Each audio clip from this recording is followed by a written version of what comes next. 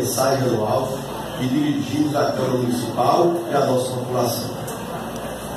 Cumprindo com o nosso dever legal, orgânico e constitucional, cumpre a cada ano fazermos um esclarecimento a cada uma das ações que desenvolvemos e que temos planejado para o ano em curso. A mensagem desse ano se reveste de um caráter especial, por ah, o fechamento deste mandato. E é importante que prestemos conta também do que até aqui foi feito durante esse tempo e que estamos administrando o município por graça de Deus e escolha de Deus. Temos feito uma gestão de recuperação tanto da imagem como da própria Caraúbas. Se ativarmos um pouco a memória, lembraremos de Caraúbas, há bem poucos anos, era uma cidade que exalava desleixo, ruas que precisavam de cuidado maior, de uma limpeza e de uma iluminação. A falta da sensação de segurança, a ausência do sentimento de orgulho, é poder, poder dizer: Eu sou Caraúbas. Com o cenário que encontramos, buscamos evitar o maior de nossos esforços no sentido de mudar esse quadro. Uma das primeiras atitudes que buscamos foi colocar ordem na parte infraestrutural, que era algo extremamente necessário, até mesmo para mostrar ao nosso povo e assumimos para dar uma nova cara ao município. E isto não poderia ser feito somente com palavras. Realizamos mutirões de limpezas periódicos e o resultado pode ser visto nas ruas e nas comunidades. Investimos também na iluminação pública e não somente fizemos manutenção, como também levamos luz a quem não tinha, especialmente na zona rural, onde comunidades inteiras viviam no escuro e hoje vivem a vida com mais clareza. Somente em 2019, entre instalações e manutenções foram 1.500 luminárias. Além disso, as trocas de lâmpadas e novas instalações são feitas já com lâmpadas de LED, que proporcionam mais iluminação e uma economia de energia considerável. Quem observa a cidade ou se aproxima dela à noite, vindo de outras cidades, pode ver a diferença na claridade e como a cidade vem mudando. A coloração, luminosidade. E há outros aspectos a serem notados. Com a pavimentação das avenidas Jorge Fernandes e Benjamin Constant, ganhamos mais, uma, mais duas entradas para a cidade, uma das quais permite acesso mais rápido aos bairros mais populosos é, da cidade. E estamos falando também de avenidas com ciclovia, acessibilidades, calçadas padronizadas devidamente. Até mesmo o índice de doenças tende a diminuir com a diminuição da poeira ou de poços d'água. Os moradores que viviam em torno do açude do governo, ou chamado açude grande, tinham preocupação com a estrutura das paredes do reservatório. Isto até assumirmos e fazermos o serviço de reparo da parede por reforço. Isso deixou de ser uma preocupação e os invernos têm se sucedido serviço para a população. O porto de entrada da cidade, que recebe quem veio de olho d'água, Boris e adjacências, tá? estava há anos esquecido. Reformamos e demos novas cores para quem chega já ter ideia de que já chega a uma cidade urbanizada e de gente que gosta de receber visitantes. Mas o que chama mais atenção de quem passa por nossa cidade está no cruzamento da RN 223 com a RN 160 o porto principal. E traz nele as marcas culturais e históricas da nossa cidade. Tais como o padroeiro São Sebastião, marca da fundação do município, o pastor e suas ovelhas, lembrando nossa comunidade evangélica, e prédios históricos, Agora, com o nome identificado, a cidade, podem ver que há nela a bela simbologia da flor, da árvore, a bela simbologia da flor da nossa árvore, símbolo, bem como as cores do sol em seu curso pelo dia, do mais forte no nascer ao mais forte no poente. Hoje é muito comum ver pessoas fazendo fotos, até mesmo as que não são de Caraúbas, porém apreciam sua beleza. Lembra do matador público? e como era preocupante a situação da infraestrutura, da estrutura e da limpeza do ambiente, encampamos uma reforma de toda a estrutura, incluindo o cerco comum, com muro e portão. Mantemos a vigilância constante e também a assistência técnica no veterinário para dar suporte aos criadores do abate. Certamente, nossa população ansiava por mais isso há algum tempo e tem uma preocupação menos. Outra coisa que nos preocupou bastante foram as dívidas e a situação de inadimplência que imperava no município.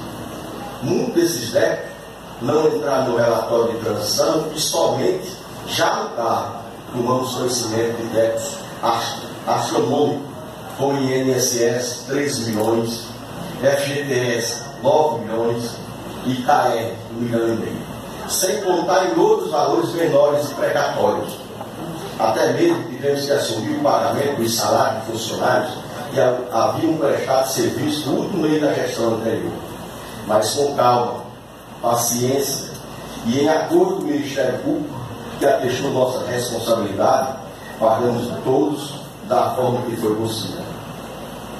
Depois foi correr atrás dos demais órgãos para parcelar, renegociar, e saudadelos.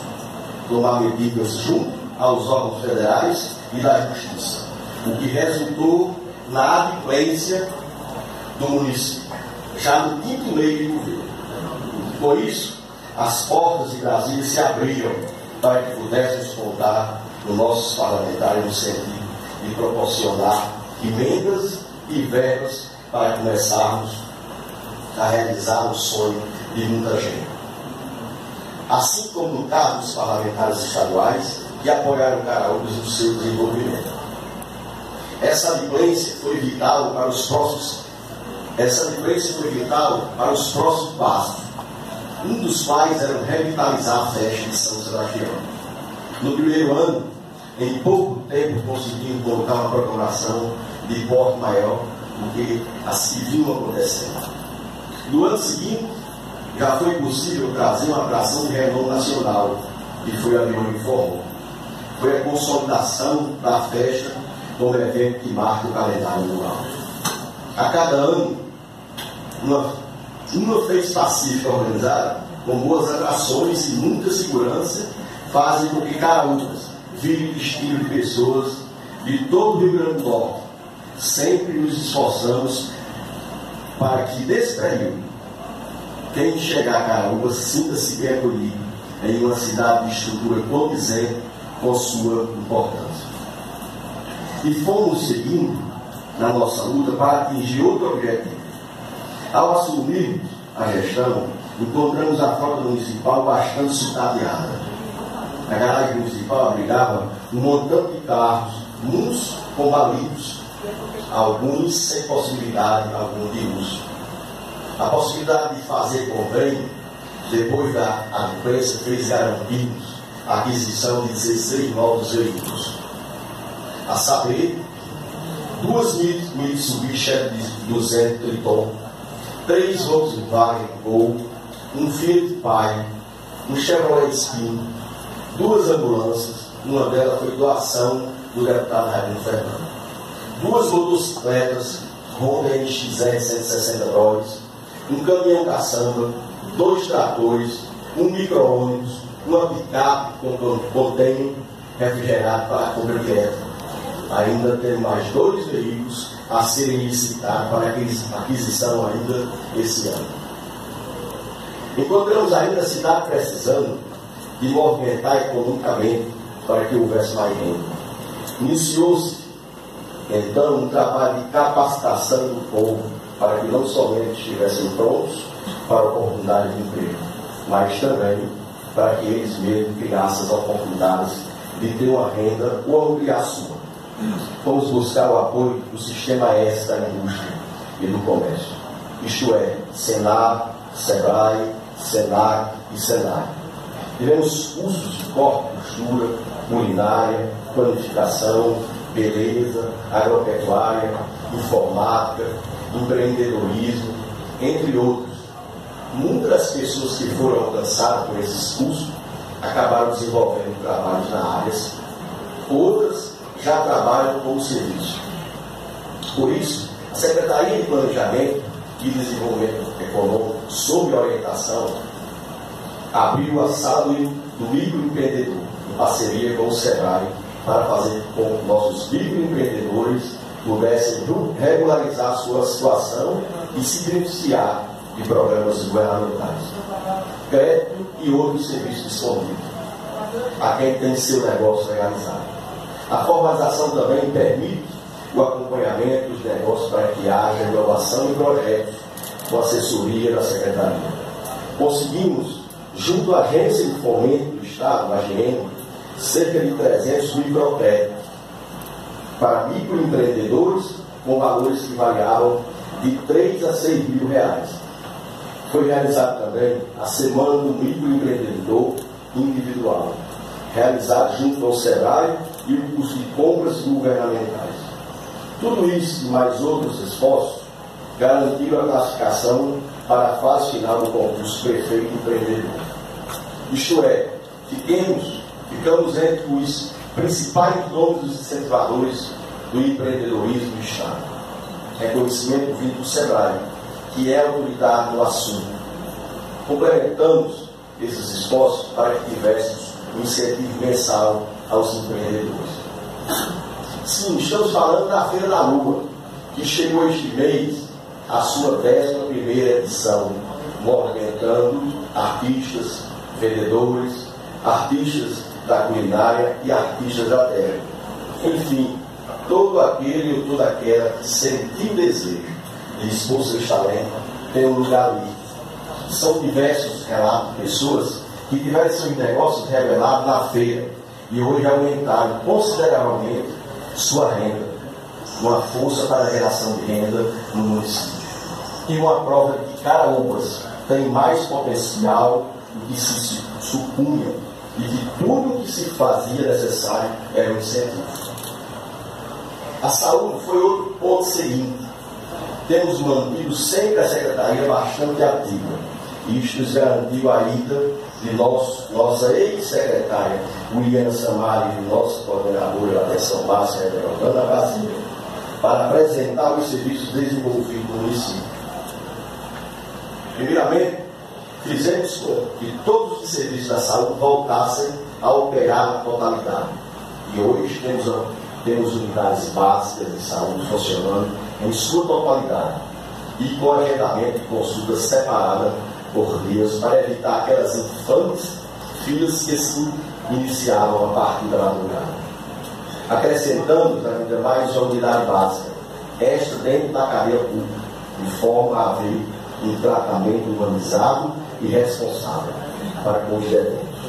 Lembrando que o tratamento mais humanizado contribui para a ressocialização daqueles que desejaram não mais enveredar pelo caminho do crime e da contravenção. Mas não somente isso, mas boa parte da frota que citamos anteriormente beneficiou a saúde, que ainda consta com mais uma equipe de apoio disponível para o transporte de pacientes dentro dos veículos adquiridos, podemos citar o micro que tem a possibilidade de transportar mais e um e mais conforto. Mais pessoas e um maior conforto. E fomos além, ampliamos as especialidades para atender a população. Cada vez menos as pessoas precisam deslocar para fora da cidade, com o intuito de realizar certas consultas. Por outro lado, para se precisarem, dissemos, temos uma frota de discussão.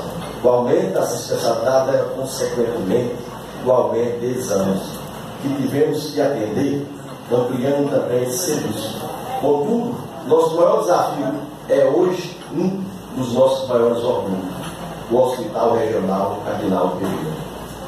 Quase teve seu fechamento consolidado, e foi somente com muita luta, com a certeza de quem cumpre compromisso, que sentamos com o Ministério Público e o governo do Estado para dizer que não deixaríamos isso acontecer. E assim foi. O hospital antes não realizava certas cirurgias e viu o número de nascimentos reduzir consideravelmente, perdendo esse espaço para outras cidades. Se recuperar de hoje diversas cirurgias seletivas, médico diariamente, geralmente mais de um, informatização dos arquivos, entre outras coisas que fizeram com que a unidade de saúde moribunda se recuperasse e se tornasse uma referência no atendimento na região. Iniciamos um trabalho de reforma das UBS, pelo atingido Miranda, que além da reforma ganhou ambulância à disposição. São Geraldo Barrecas, mas já iniciamos as reformas do Apoia E encaminhamos a do bairro Leandro Bezerra e da Mariana. Estão programadas para os próximos meses a Berramã, Cachoeira e Santo Antônio. Isso além da construção da unidade básica de saúde do bairro Sebastião Maltês, que era o único bairro que não contava com edifício próprio. Além disso, implementamos, implementamos mudanças do PEMAC, que resultaram em mais produtividade de nossos funcionários, e a implantação do piso dos agentes comunitários de saúde e agentes de indenização. Inclusive garantimos novos equipamentos para esses servidores, a informatização do seu trabalho, garantindo uma eficiência e agilidade.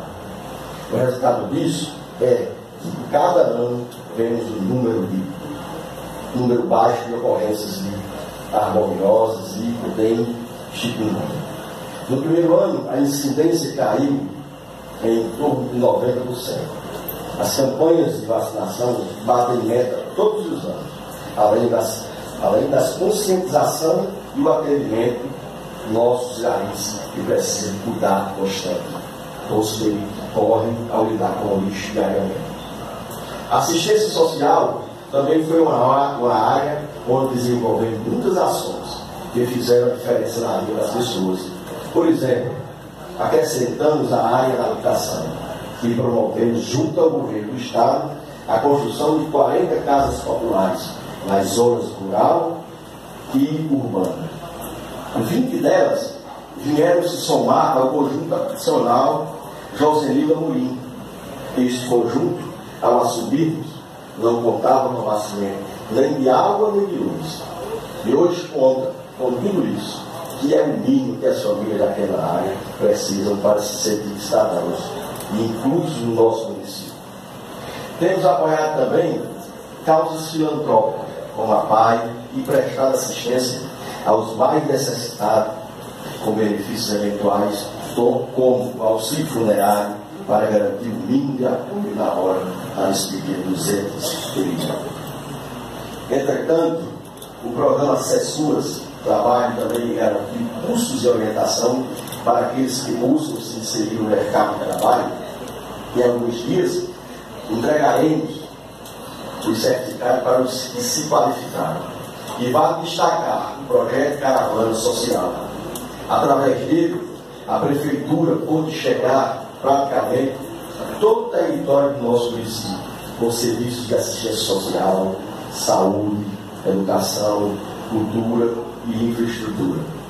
Como uma forma de aproximar os serviços das pessoas em uma espécie de busca ativa por território. Esta ação foi tão bem sucedida que tivemos uma reunião do colegiado estadual de gestores municipais da assistência social marcada em Caraúbas. Propósito também acompanhar o projeto e no próximo mês deverá ser apresentada em Brasília para servir de modelo para as demais secretarias e órgãos, da assistência social em todo o país. Igualmente foi premiado nosso cadastro único e ganhou reconhecimento em nível estadual e nacional. Realizamos também duas edições do Natal Criança Feliz nos anos de 2017 e 2019. E somente Não o fizemos no terceiro ano em virtude de dificuldades financeiras que nos levaram a fazer diversas formas. Queremos aqui registrar também, entre essas ações, a eleição do Conselho Tutelar, já que são dignas de nota a dedicação. A organização e a transparência do processo conduzido por servidores e voluntários. Certamente, assim como os eleitos, todos os candidatos devem ter se sentido bem atendidos pela equipe que dirigiu o certame, com apoio da, das polícias, do Ministério Público e do Judiciário. Outro programa de muito sucesso foi o Ativa Caraúbas, no qual profissionais estagiários da área da educação física iam às praças das, dos quatro cantos da cidade para proporcionar um momento de lazer e atividade física. Dessa forma, houve um impacto na redução da procura por fisioterapia no NASP.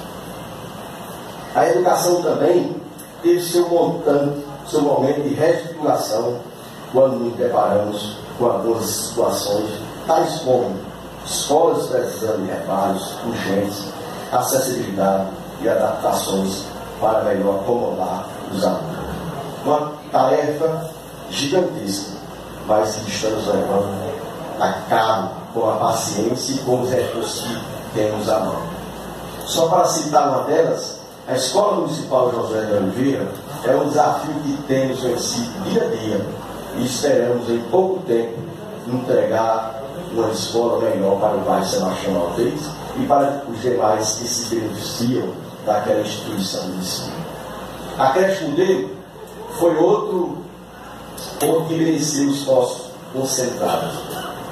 Recebemos, recebemos inaugurada com a placa e tudo mais. Contudo, não havia condições de haver aulas, como o estado que encontramos, que depois foi constatado por vistoria do FNDE, Fundo Nacional de Desenvolvimento da Educação, era uma obra de praticamente oito anos que não havia sido concluída.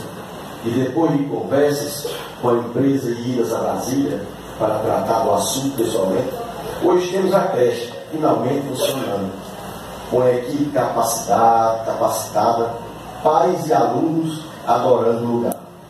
Ainda temos a Juliana Bezerra, que nos foi entregue em situação pior, e estamos lutando para conseguir dar o mesmo destino. Uma coisa que temos feito desde o primeiro ano de governo é investir na gratuidade e na qualidade da educação. Diretamente dos profissionais e alunos. Mais de 3 mil alunos recebem pagamento de material escolar gratuito. Merenda escolar de qualidade, vinda da compra direta, que beneficia também agricultores familiares e aqueles que necessitam. O serviço especial de acompanhamento para as pessoas com necessidades especiais. Nossos professores são acompanhados diuturnamente com a equipe pedagógica forte, sob a tutela de nosso secretário, que é um entusiasta da educação. Além disso, o piso do magistério é ajustado todos os anos, conforme o estipulado nacionalmente, e pago integralmente. Este ano, já entregamos o projeto de lei que, quando aprovado, garantirá 12,84 de reajuste a ser pago a partir de março. Antes disso, os professores já receberam o texto de férias, agora no mês de fevereiro. Outro assunto conturbado diz respeito ao transporte dos alunos, seja do ensino básico, seja do ensino técnico ou superior. Retomamos o governo do Estado dentro do Programa Estadual de Transporte Escolar, PETEL, e o Programa Nacional de Transporte Escolar, PENAT. Assim retomamos o transporte dos alunos, muitos dos quais haviam perdido o ano letivo anterior por falta de transporte. Igualmente, os alunos de ensino médio, técnico, superior, que viajam para outra cidade, passaram por problemas e agora recebem bolsa de 70% do valor necessário para o deslocamento, reduzindo custos de problemas de manutenção e outros que teriam se transportes fosse feito diretamente pela prefeitura. Hoje, os pais e alunos fazem as tratativas para os aluguéis dos transportes e podem ter um serviço melhor de qualidade. Ainda promovemos a reforma de diversas escolas por todo o município. Tais como a Semeia, Maria Madalena Rosendo, bairro Belo Bezerra, Semeia e Monsenhor Raimundo do Gel do Amarelo, Raimundo do Gel do Amaral, no centro, Jardim de Infância Murilo de Oliveira, no centro, e a Escola Municipal Jonas Gugel. Estamos com outras reformas encaminhadas. O esporte, como sabemos, carece de recursos para que se faça um trabalho mais forte. Isso não foi pretexto para que não apoiássemos nossos atletas. Temos procurado apoiar todas as modalidades e todos os atletas que podemos alcançar, em especial aqueles que se deslocam para lugares fora da cidade e do estado para representar a nossa Caraguas. Recentemente, tivemos um atleta indo a Santa Catarina, comprou na seleção estadual de atletismo, mérito que venham do aumento modalidades dos jogos escolares do município e de Caraguas. Chegamos. Costumeiramente, temos recebido visita de agradecimento e somos presenteados com medalhas de atletas que se saíram bem em suas competições com nossas ajudas. Com nossa ajuda. Nos bairros e nas comunidades, estamos revitalizando as quadras de esporte, como a quadra José de Carlos, da Silva, que foi inteiramente reformada, ganhando, ganhando inclusivamente, inclusive, cobertura nova e outras tantas que passam por pintura e outras melhorias.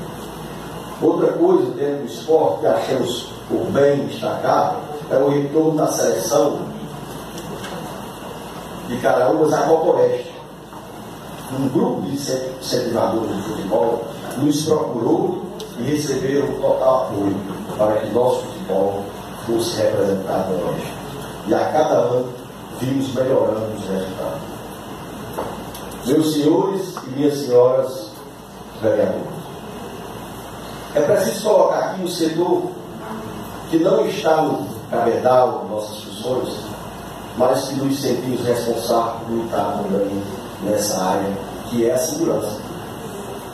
Carugo mostrava altos índices de criminalidade assustava. Não nos contentamos com essa situação e fomos atrás de soluções juntas aos órgãos de segurança do Estado. Primeiramente, fomos atendidos com a Operação Sertão Seguro, mas queríamos mais e montamos uma, a estrutura necessária para receber mais efetivo e policiamento com a casa, alimentação e internet, além de outros apoios de ordem logística. Finalmente, em reivindicação junto ao governo do Estado, foi montado um grupo de operações estática, GPO, para implantação aqui em Caracas. Desde então, temos conseguido ótimos resultados nessa área.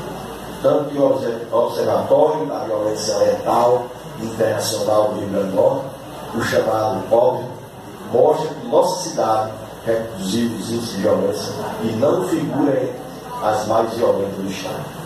Isso fora a sensação de segurança que a população tem experimentado. Inclusive nos grandes eventos, quando contamos com reforço da segurança e da vigilância. Lembremos de que um sinistro ocorrido como ontem no Estudante da UFES nos levou a uma reunião na qual decidimos pela iluminação, limpeza e vigilância no trajeto da chegada à universidade.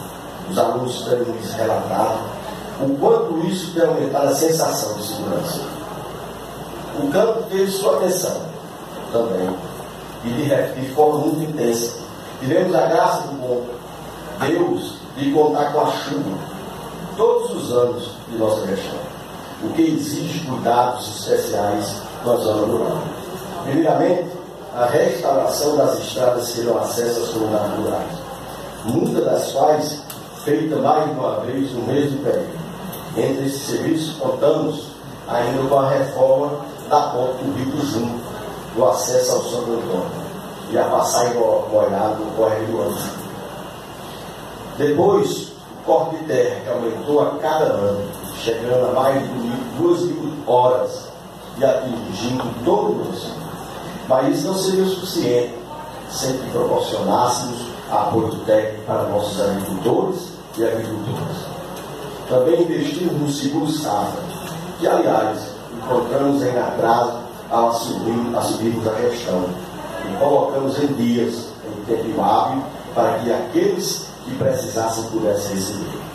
E além disso, promovemos parcerias para a revitalização da agricultura em e região.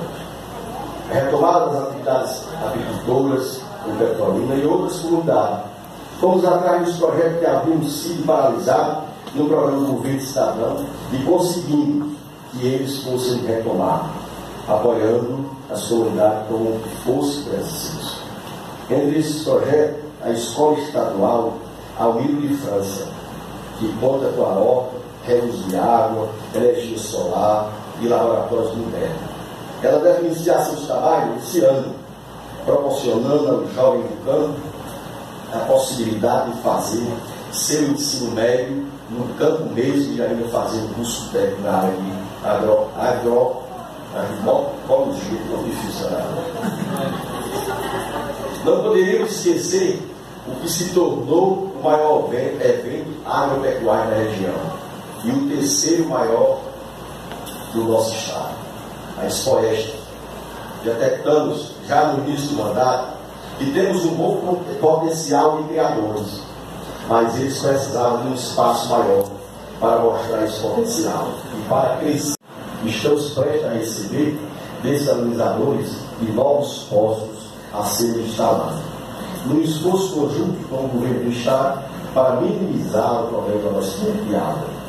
Já estamos apoiando as comunidades de São Geraldo e Boado na resolução do abastecimento. Assim como fizemos com o PA no 1 de maio. Aí, nesse sentido, listaremos nos próximos dias um programa de recursos de água na zona rural no valor de 550 mil reais.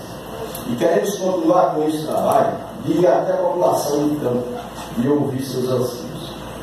Abro parênteses, aqui para dizer que a cidade jamais viu um gestor que ele tivesse tantas conexões com o campo, pois realizamos visitas periódicas à comunidade e associações desde 2017.